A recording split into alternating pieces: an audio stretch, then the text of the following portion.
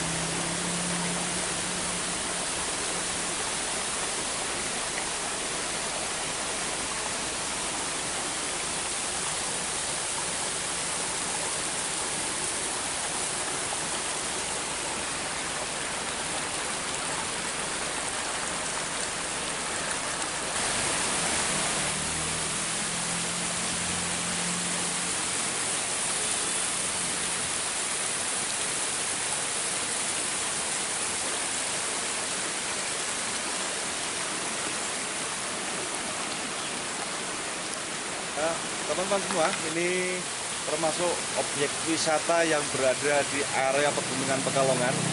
Eh, posisinya di pinggir jalan raya persis, di pinggir jalan. Sambil melewati jalan, kita bisa melihat ada taman wisata di Suruk Sinduk. Jadi teman taman wisata ini dikelola oleh warga setempat.